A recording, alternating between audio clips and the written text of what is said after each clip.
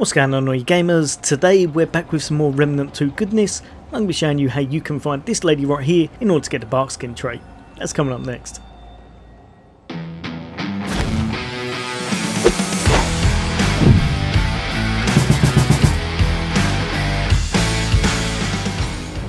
So today we're back with some more Remnant 2 content and what we're going to be doing is fast travelling to Yaesha and then we're going to need to go to this checkpoint right here, the Far Woods.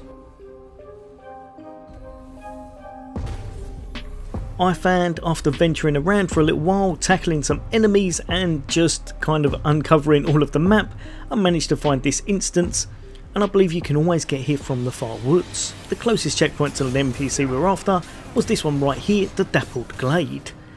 And that's going to unlock this lady right here who's going to ask you a lot of questions and how you decide to answer them is going to is going to affect what reward you actually get.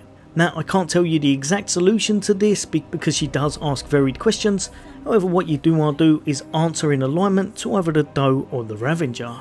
So if you're answering all very morally correct and righteous it will be classed as the doe, which you'll be wanting to do if you want to unlock the barkskin. If you want to unlock the other trait, then you'd want to be given very immoral or kind of selfish choices.